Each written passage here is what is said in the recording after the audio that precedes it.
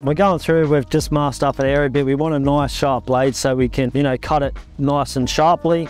So I'm just, yeah, just double checking my blade, put in a new replacement now. So with the iQuip 2 edge, just hold down your little tab here and just simply just slides and locks into place.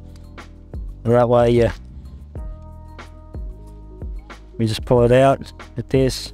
You know, I just have um, my blades, my spare blades here. So yeah, just pull one out as you need it. Same as with my lean by blade. I just keep all my spare blades in here. These are the iQuip ones as well, which you can get from Jacob at Go Industrial. It's always good to have spare blades.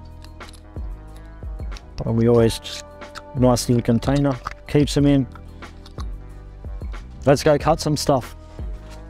So a lot of time when you're taping up as well, you know, if you tape it up here, you've got all that, well, especially that area to cut. So whenever I'm doing anything like that, I always do it to that edge. It just eliminates a little bit less cutting. So both edges, top and bottom like that,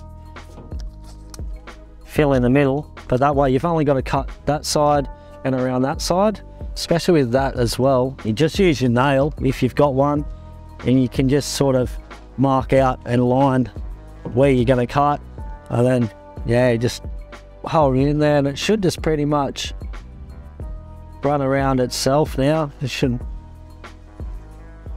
just peel that off. With that same as on this side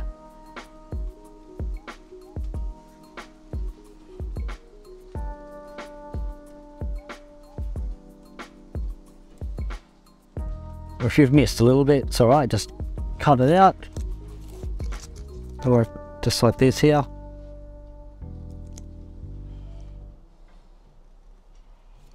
So, there we go. So that's all good to go now.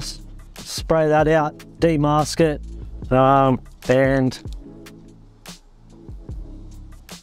that way you still got what you need to say on the surface we're pretty much all taped up now.